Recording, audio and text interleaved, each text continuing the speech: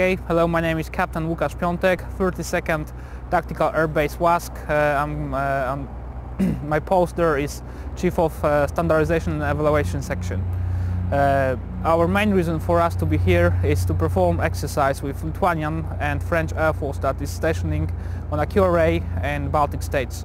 This is for the fifth time the Baltic region training event takes place and our squadron participates for the third time uh, in the past three years.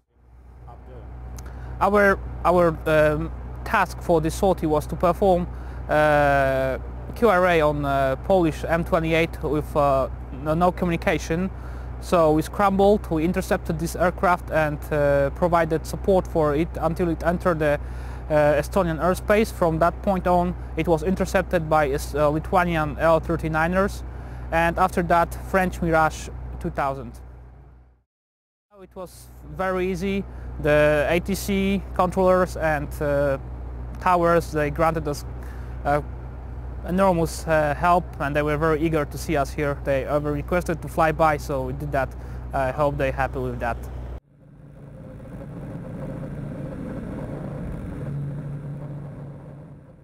I'm Brigadier General Valeri Saar, I'm Commander of Estonian Air Force and today we hosting in Estonia, in Tallinn International Airport, the Baltic Regional Training Event number 5.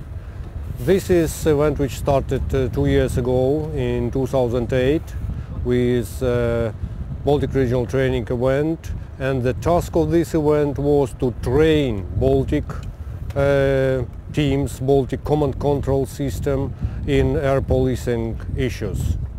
Um, it's extremely nice experience for uh, three Baltic uh, countries to train all fighter controllers uh, and uh, mission control officers uh, to operate with NATO airplanes. Now more than seven countries already participated in Baltic regional training events and today we have uh, the fifth exercise.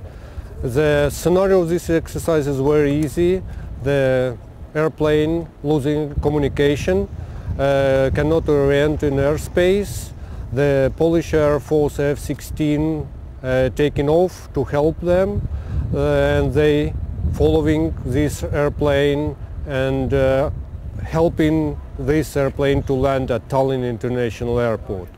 In parallel they made two, three exercises in our training area all this exercise was uh, a, a lead from our Baltic Regional Air Sovereignty Coordination Center or CRC uh, Karmelava and um, all radars, all communication equipment in the Baltic region were involved in this training process.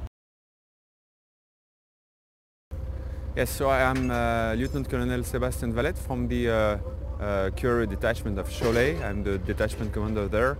And uh, today's event was uh, a training, in fact, for the QRA of Šiauliai and some other aircraft from uh, NATO uh, to enhance the procedures and enhance tra training and interoperability of uh, all the nations. For the training in aircraft, we lost the communication with the control agency and we just relay the the uh, interception uh, after the F-16 uh, to continue on the escort till Tallinn.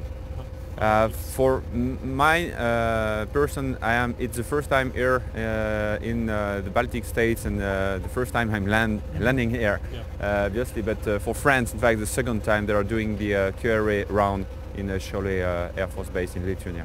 It's yes, we're, we're, well prepared for this because it's something that's happening as well in our country, obviously. Uh, but uh, it's all the time very interesting to, to do that kind of training with different nations.